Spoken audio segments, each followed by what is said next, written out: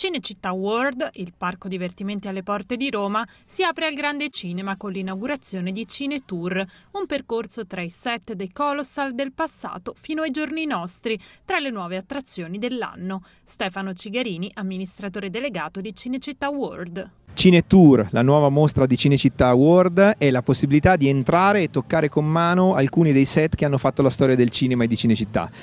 Si parte da Cleopatra, film del 63 con Richard Barton e Liz Taylor, quattro premi Oscar, si passa attraverso la Cattedrale dei Morti Viventi, Robocop Terminator e poi per finire nell'antica Roma con un tempio di Erode, un palazzo di Erode bellissimo, eh, sede di un film americano ancora non uscito in Italia, Jesus the Savior. All'inaugurazione erano presenti molti personaggi dello spettacolo, tra cui Caspar Capparoni, Irene Ferri, Ludovico Fremont, Demon Morselli e Maria Monsè. Tra le otto novità del 2018, che portano a 30 il totale delle attrazioni, ci sono anche motori Chuck Azione, lo stunt show ispirato ai grandi film action e iFly, la montagna russa che usa un simulatore attrezzato con la realtà virtuale, permettendo di restare a terra. A Cinecittà World entri in un film tramite i set come Ben Hur dove si fa la corsa delle bighe, come la nuova Cinetour, tramite la tecnologia, come nelle attrazioni con la realtà virtuale, la Guerra dei Mondi per esempio, Labirinto, Guerra dei Mondi dove si entra sul set attaccati dagli alieni come nel film,